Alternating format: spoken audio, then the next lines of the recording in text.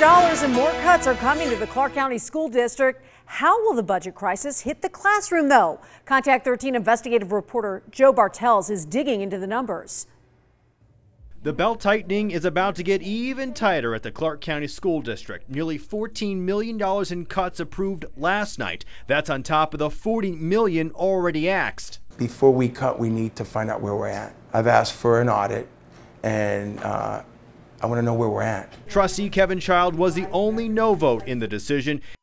He says there's some cuts he just can't go along with. When safety is of the utmost, I, I can't go with that and especially when I have constituents that call up and say safety is number one on our minds to keep their children safe. Here's a breakdown of what the cuts mean. 314 positions eliminated, staff like bus drivers and custodians. The district says no teachers would be affected. We're told these cuts will have the least impact on classrooms. They're saying yes, by Monday we'll have some more cuts to do. Internal memos obtained by Contact 13 show the school district is preparing folks for potentially 80 million in total cuts before everything is said and done. By October, schools will decide how they will absorb the cuts and it will likely mean layoffs to plug the budget hole. Joe Bartels, 13 Action News.